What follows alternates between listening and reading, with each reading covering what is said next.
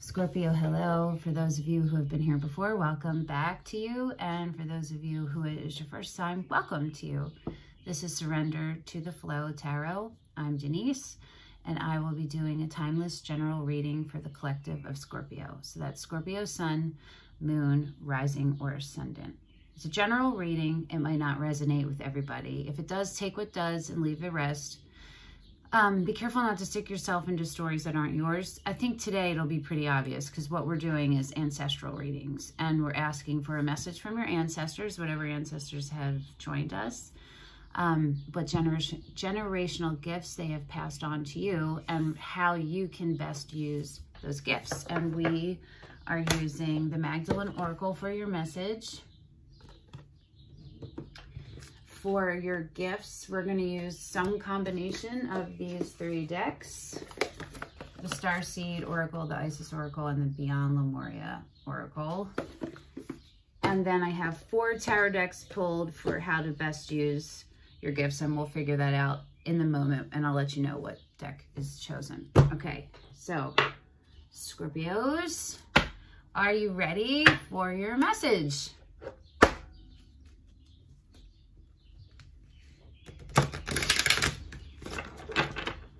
I ready for your message? That just came in my head. I thought I was. Ooh. A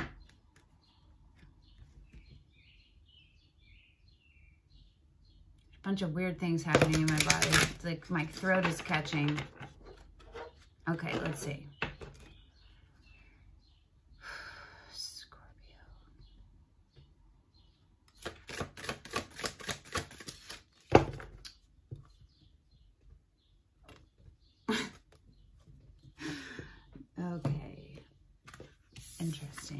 Sophia is what you got.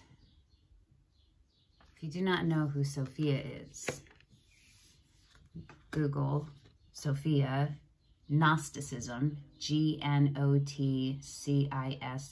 I think. Sism, how C-I-S, right? Um, look up Thunder, Perfect Mind. Okay. Sophia. I'm very much Sophia, so it's really interesting that this came up in, in Scorpio reading, which I have no scorpionic placements, I don't think. Um, definitely not my first three. So, Sophia, someone dear to you needs your love and support at the moment, perhaps even your forgiveness. Put aside any recent disagreements. Let it all go and make up. Deep down, you both know that you love each other. Life is too short to waste. Adopt a loving attitude for love will heal all things. True, true, true, true, true, true, true, true, true. Honor and respect each other's differences. Individuality is sacred. That's so beautiful. It's so true. I should get a tattoo that says that. It should go like right here. I don't think I have enough space. Uh, whatever. Sorry. You are both beautiful souls. Through love and forgiveness, a world of infinite possibility and contentment awaits you. So, unconditional love, Scorpio, which you are a water sign and you are all about this. You're all about um, embodying it. But with Scorpios, I think it tends up to be like the darker sides of it because you also really um, resonate with the the deeply, darkly romantic parts of the pain of love. You know what I mean? That resonates strongly, I think, probably with Scorpios. Um, so Sophia is all about Sophia is one of the aspects of this source, and this source broke off. So in Catholicism, it's Father, Son, and Holy Ghost. Sophia is the Holy Spirit or the Holy Ghost, right? Sophia is Mary Magdalene. Sophia was Mary Magdalene, which is Jesus's divine counterpart. That's the emperor and the empress. You feel me? I am Sophia. Um, that came to me channeled once. And I had no idea at the time what I was saying. And then when I learned about it, it made so much sense for me. It totally clicked for me about how I connect with people. And so I guess if you are a person who has saved people or felt like, you know, you're you're you're attracted, you resonate with that's what I think maybe the flip, the switch that needs to be flipped in your head is attract flip attraction and put resonate with who you may or may not be also physically attracted to, but what was I saying? Are people who are still needing healing because Sophia's job, her whole entire purpose is to realign the splintered pieces of the one back with the one. And that often comes through sexual encounters, but it doesn't always need to be that. They're not exclusive, okay? and maybe you get yourself caught up in relationships with people where the levels, your vibrational levels, your maturity levels aren't equal. You know what I'm saying? Um, this is about being unconditional love, but not, not allowing this. We're not talking about abuse. Okay. We're not talking about something that happened that's abusive. That's, that's not what we're talking about here. We're talking about something that isn't toxic or abusive. Um, and if it is toxic, there's a pos there's still the probability that it can be healed. Not a possibility out there as it exists, but a probability. You understand what I'm saying? This is what I'm this is what I mean when I say if it resonates and it doesn't. You have to like discern, use these discerning things to see how it resonates with you. Okay, let's see what your gift is. Scorpio, and we're using Ooh. The song just came in. Ooh, boy, I love you so. Never, ever, ever gonna let you go. Once I get my hands on you. Ooh, boy, I love you so. Never, ever, ever gonna let you go. I hope you feel the same way too. Girl, I do. it came a Kwame song, but it was sampled for something else. I don't know why they just came in my head. But Scorpio star seed. I'm going my I'm like stuck on the star seed and the Isis. So I'm gonna start with the star seed and then see if we need the Isis. Oh my, it just said yes. So just gonna just gonna take it now. Okay. I just do what it's told, what I'm told, as long as it aligns with my highest vibrational frequency, then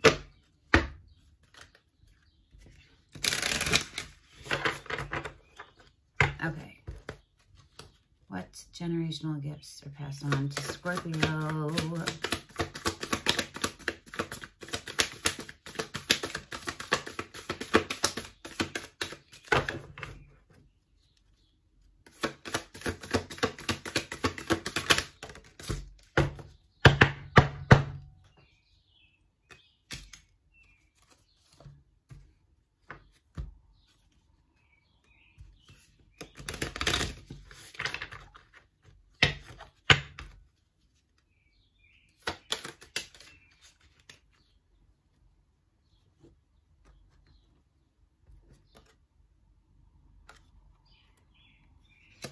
Okay.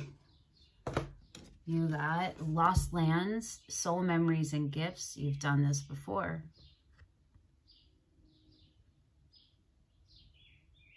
And you got Temple of Lapis Laz Lazuli. Lazuli. So see if any of these things, any of these symbols or colors, and you should probably get yourself some of this, um, resonate with you. Your soul is very ancient and holds the wisdom of star peoples from civilizations with unique high vibrational awareness that can help humanity transition from a culture-based in fear to a love-based community.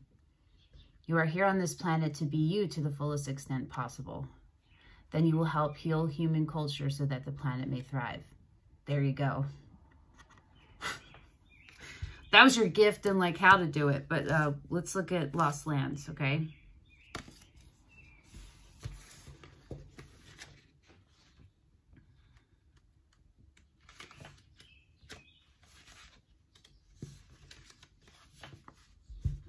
The world is far more ancient than our documented history suggests.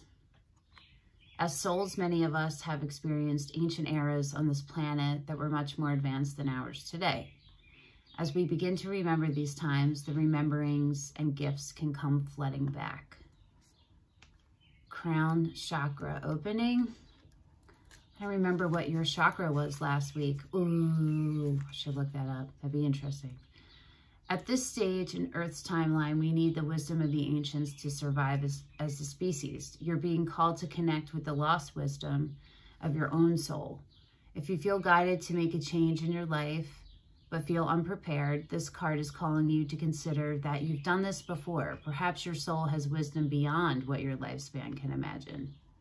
Perhaps, perhaps the intuitive hits and ideas you're receiving are divinely guided. This is about faith. This is about having faith which totally goes in alignment with Sophia, which is all about having faith, right? She is faith.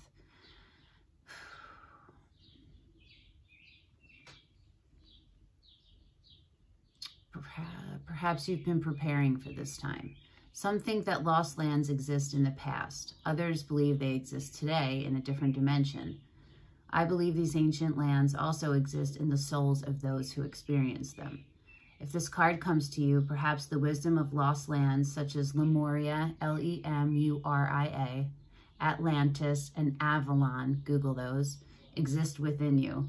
And through surrendering to the intelligence of your soul, you can unlock the seeds of these ancient lands so we can all learn from our mistakes and usher in a new age. So it's about having the knowledge and sharing it, right? And I think the way that you share it, Scorpio, is through love, is through intimacy. So whatever way that resonates and whatever level, because it doesn't have to be sexual intimacy, just has to be intimate intimacy. You have an intimacy with your parents, with your kids, you know what I mean? With your best friends. So think of it like that. So you're supposed to put this on your heart and say this, but I'm going to hold it up here so you can look at it and then you can pause it and say it while you look at this, okay? I unlock any forgetting, forgetting. I unlock any forgotten wisdom and soul gifts from lifetimes past. All right, let's see how you can best use your gifts. Good tarot.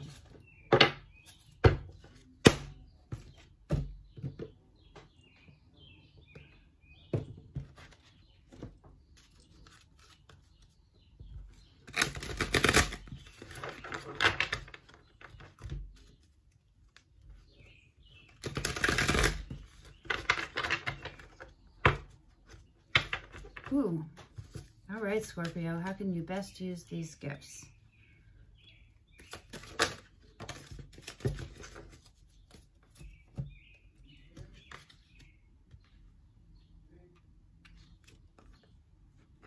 Hmm, this is really dope.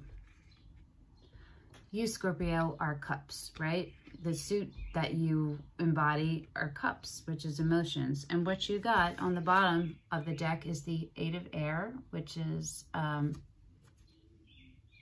why in my head I thought this was water, is swords. Swords. So weird that I saw it that way. And the Ace of Water. Hold on. That is you, but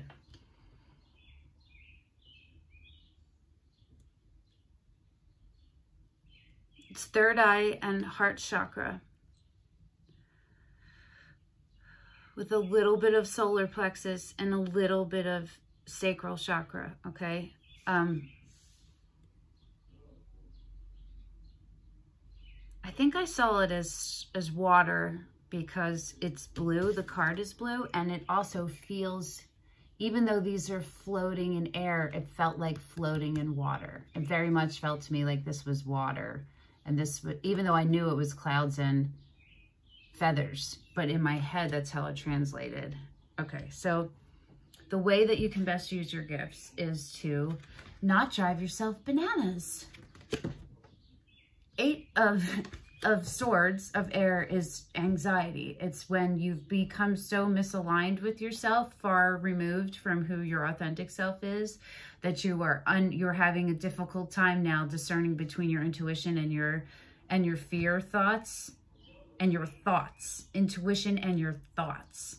And they are and your the thoughts are winning, your beta brain is winning and all of your fears that are underneath those are taking hold. But all you have to do, all you have to do, because it's so easy. No, I know it's not easy, okay? But be aware that anxiety is you, you're prone to it and what your triggers are and how to keep yourself aligned. And that is becoming one, the ace of water is a gift from the divine, from the universe. It is a brand new beginning for you of a heart kind.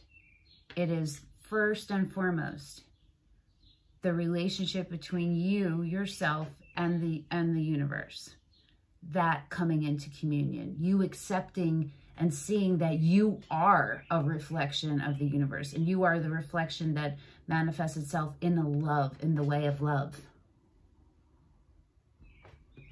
I know that people don't normally think of love and Scorpio as the same thing, but you are, okay? It's healing that, it's becoming that, it's having that as your foundation. And when you have that all in alignment, your anxiety is not going to be as prevalent. You know what I mean? Or not even there. Okay, Scorpio.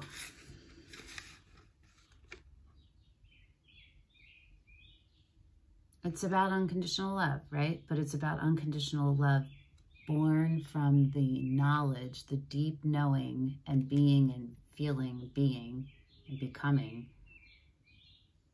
of the love that the universe, source energy is love and being connected in with that part. Okay? I hope this helped, Scorpio. Thank you for coming back and sharing your energy with me again, and I will see you next week. Bye, Scorpio.